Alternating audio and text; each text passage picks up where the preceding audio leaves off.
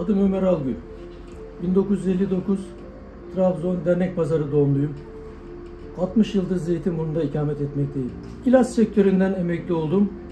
2004 yılında yerel seçimlerde Siirt Dizan Mahalle Muhtarı olarak göreve başladım. 20 yıl bu görevi yaptım. Şu anda emekli hayatını yaşamaktayım. Zeytinburnu'nda ömrümüzün hemen hemen tamamına yakını Zeytinburnu'nda geçti. Zeytinburnu bizim memleketimiz oldu. Zeytinburnu eski haliyle şimdiki halini e, karşılaştırırsak çok çok farklılıklar var, değişiklikler olmuştur.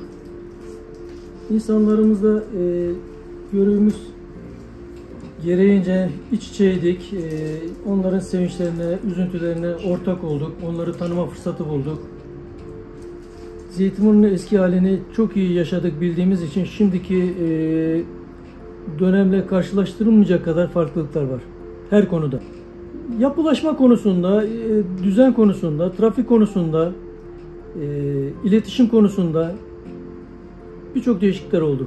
Ömer Bey ile 2004 yılında muhtar olduğum dönemde başkan yardımcısıydı kendisi Zeytinburnu Belediye Başkan Yardımcısıydı. O dönemden tanışıklığımız oldu.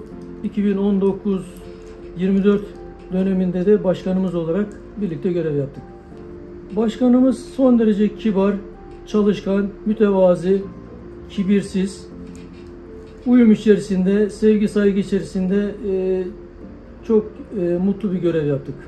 Gençlere tavsiyemiz çok çalışmalarını tavsiye ederiz. E, milli manevi değerlerine sahip çıkmalarını tavsiye ederiz.